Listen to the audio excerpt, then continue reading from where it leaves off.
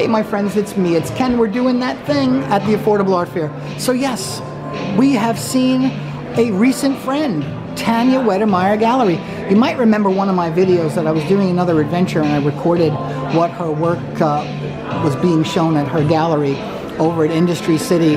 And Tanya's off on some missions here at the show. So I'm going to talk to Daisia Canton from the gallery, and she's going to talk to me all about the artists here today at the Affordable Fair. Hey, what's up, Daisia? How are you?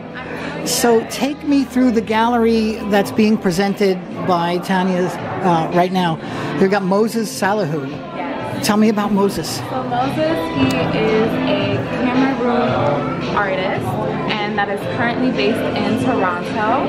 And all of his pieces are abstract yet figurative, and he uses a very brushstroke kind of scraping technique to create these thick layers that you see. Wow. And all of his work is centered around the black experience, both in America and Africa.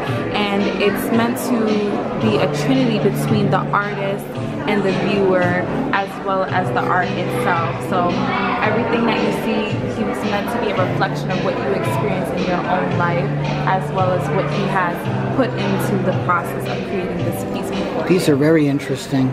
Yes. I see. Now, there's a lot of work by Gregory Saint Armand.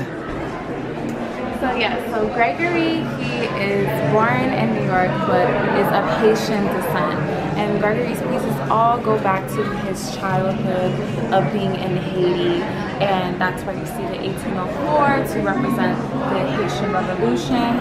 And then you see a lot of patterns with peppers as an ode to his grandmother because she used to have a garden where she would grow peppers and then she would then cook with them. Oh. And so this is just an ode and a celebration of the heritage and the love languages that we grow to develop and love through our families and our shared experiences. This is beautiful stuff.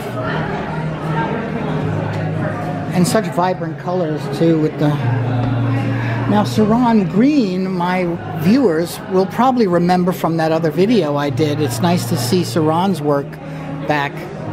So yes, Saran Green, he is a Newark, New Jersey native, and again, all of his pieces, these are all works on paper, are black on black, and it forces the viewer to fully interact and engage at what they're looking at. Very, very, gotta look very closely because, you know, to understand the detail, and even especially with the words, he stencils that out all handmade by himself. He's a self-taught artist, and so it again it forces you to read out loud what you are viewing. That way you can fully digest what it is it's trying to convey to you, and then also connect it back to your life. and how it is. that's great. So how's the show been so far? It's only the second day. It's really the first public day. They had the big party last Right, night. the big party. It was crowded, it was packed. People were of great spirits and just looking to celebrate and appreciate this artistry of these amazing three artists. Um, today is the first full day, so we're really excited about the people who have come in, building those connections. Um, meeting people from all around the world. There's love from Italy, from London, also It's a loaded house. I love it. Daisia, thanks so much for talking to me. It's always a pleasure to meet new faces and uh, and talk to them about what's going on in their world. I appreciate you.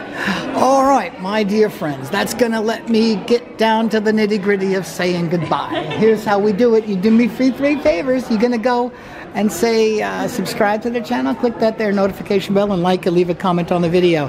From the Affordable Art Fair and the Tanya Weddemire Gallery, I remain your humble host, Ken Pierce. See you next time. Bye.